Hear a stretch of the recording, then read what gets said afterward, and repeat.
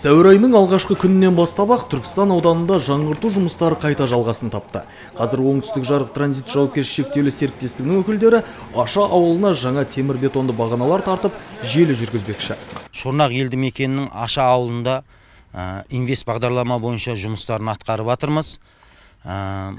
Аша ауылындағы КТП 40 пастанс трансформаторный пастанциясы тұрған бүкіл төртте екі шақырым электр желісі ауысып 233 темір бетон бағанаға тозығы жеткен бағаналар темір бетон бағаналарға ауыстырылады Айта кету керек, оңтүстік жарық транзит компаниясының Түркістан аудандық электр желілері қазір алты бірдей елді мекенде жаңғырту жұмыстарын жалғастыруда.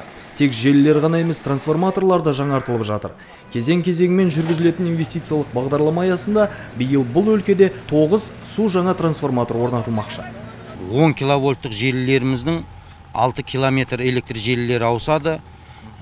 Сосын мынау 04 вл 04 желілері бар электр желілері ода 8-де 5 шақырым электр желілері ауысады. И 9 дана жаңадан трансформаторлар ауыстырады. Қуаттылығы арттырылып қойылады. Және де мынау сип сол 18-де 64 шақырым ауыстырылады. Оның ішінде 363 дана темір бетон бағаналар жаңадан ауыстырылады. Қазір энергетиктер түркістан ауданы бойынша электр тарату желілерінің 40 пайызын жаңартып үлгеріпті. 2022 жылға дейін жалғасатын инвестициялық бағдарлама аясында тағы 40 пайызы жаңғыртылмақ. Қалған 20 пайызына күрделі және ағымдағы жөндеу жұмыстары жүргізіледі. Оңтүстік жарық транзит компаниясының бұл игі тірлігіне жергілікті халық дән риза. Свет жақсы күні түні бар тоқтамайды свет. Рахмет.